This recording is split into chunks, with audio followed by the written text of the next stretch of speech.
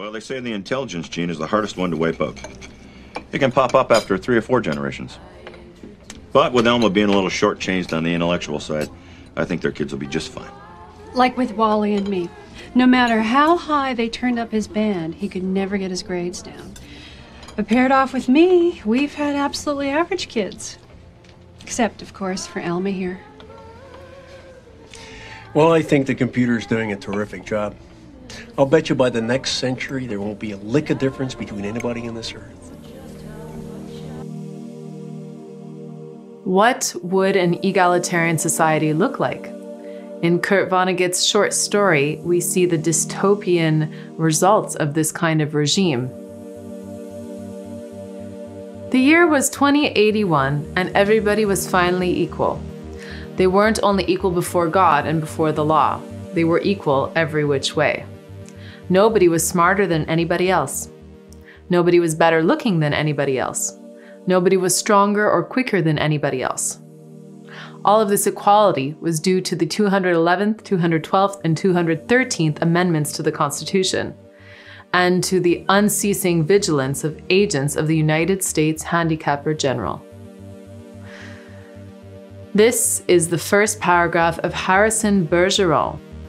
Robert Wright of AIER describes Vonnegut's short story in his latest essay. He says, the story's real relevance lay in how it reveals the impossibility of equity, of mandating equal outcomes for all. In Vonnegut's America of 2081, over 200 constitutional amendments have made strict equity the law of the land. Harrison, what is the first article of the new American Constitution? that all men are not created equal. It's the responsibility of the government to render them so. Indeed. Well, son, you are one of those men, and for all intents and purposes, I am the government.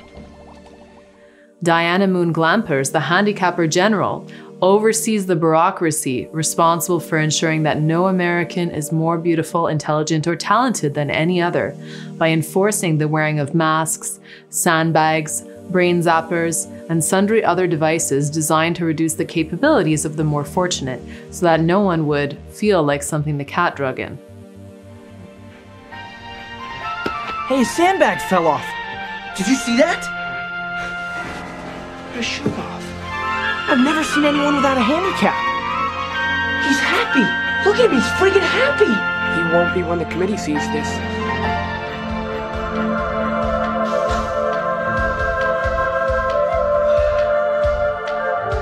While most Americans had somehow come to accept the new equity regime, seven foot tall teen genius Harrison Bergeron did not. To bring this Thor like human down to the least common denominator required huge handicaps that chafed Harrison's body and brain. Imprisoned for plotting to overthrow the government, Harrison broke loose his chains, shed his handicaps, invaded a televised ballet, declared himself emperor, and commenced dancing with his empress, the ballerina who proved herself the bravest, strongest, and most beautiful of the bunch. In a world where everybody is meant to be equal, and everybody therefore has to be handicapped downwards, some people are still unable to be fully handicapped and all of their capacities reduced. Such was Harrison Bergeron. In the film version, he's recruited by a secret society who are above the government and decide how everything will work in quite a technocratic fashion. I know. it's all very puzzling for you. I'll try to explain as briefly as I can. As you know, since the Second Revolution, America has been striving to create a truly egalitarian society, a society of average people. Well, the problem is uh, that to run such a society requires certain high administrative functions that the average person is simply incapable of performing. You mean like senator or president? Oh, oh, good Lord, no. I mean, anyone with average intelligence or less could uh, handle those. No. But it's the people who supervise the economy, who run the railroads, the airlines, the communications, manufacturing. Uh, unfortunately, they can't be uh, average. Now, surprisingly, uh, there are very few of us in, in numbers. Uh, what is it, uh, under 3,000, something like that? Yeah. But you were brought here because we would like you to be one of us. Me? Our recruiting department has been tracking you for two years. Your intellectual gifts are quite considerable. You mean the head house? The chess? That was all some sort of a test? Of course. That's why we brought you here like this. This is a secret facility. The general public doesn't know where it's located, or, or indeed that it exists. The idea of its being only possible to have true equality by fostering inequality might be a trifle difficult for them to grasp.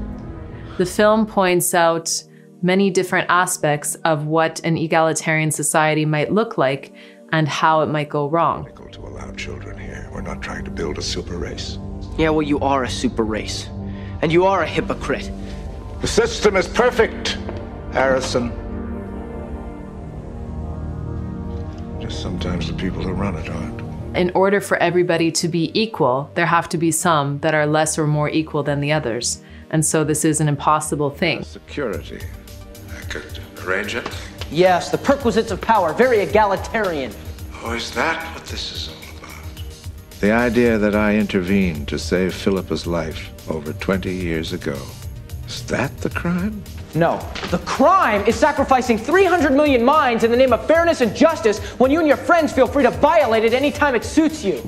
As Robert points out in his text, the story of Harrison Bergeron should remind Americans that individuals can never achieve equity if the state is powerful enough to enforce equality of outcomes.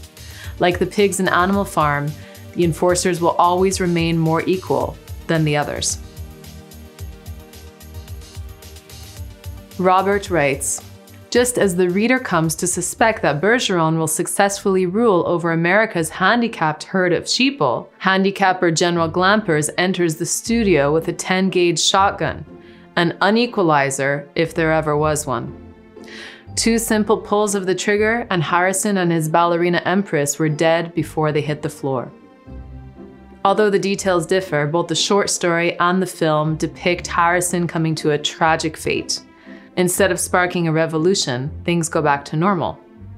Robert explains No revolution followed.